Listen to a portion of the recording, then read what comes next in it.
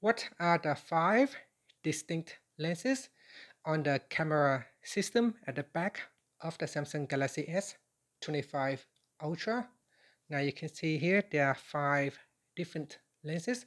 The first one is the main camera right here. This is the main camera. Now it has a sensor of 200 megapixel and the RAW is the primary camera, uh, the main camera uh, for general photography, capturing high resolution images with exceptional uh, details. So the features are uh, it has a large sensor size, allows for better light capture, resulting in improved low light uh, performance. Uh, also, it combines multiple pixels into one large pixel for improved low light performance and dynamic range. It also has the optical image uh, stabilization.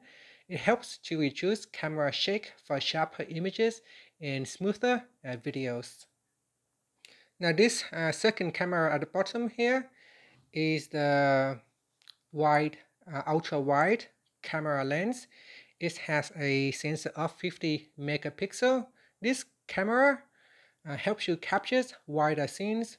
Uh, it is ideal for landscapes, architecture, and group photos. Now, two main features. Uh, it has an improved sensor and wider field of view. The wider field of view allows you to capture more of the scenes. And with the improved sensor, uh, compared to the S24 Ultra, the S25 Ultra features a larger 50 megapixel sensor for better low light performance and improved uh, image quality. So it is a better camera lens compared to the S24 uh, Ultra. Next, we have this one here. This is the 3X telephoto camera and has a sensor of 10 megapixel. The role is to provide optical zoom for capturing distant subjects without significantly loss uh, of quality. Now the features I has the optical image stabilization, helps to maintain stab stability uh, during zooming uh, shots.